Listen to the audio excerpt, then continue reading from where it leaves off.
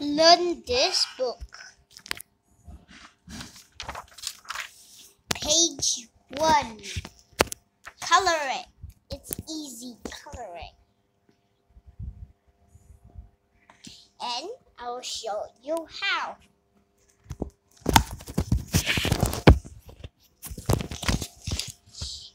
You can't use you can use blue pen.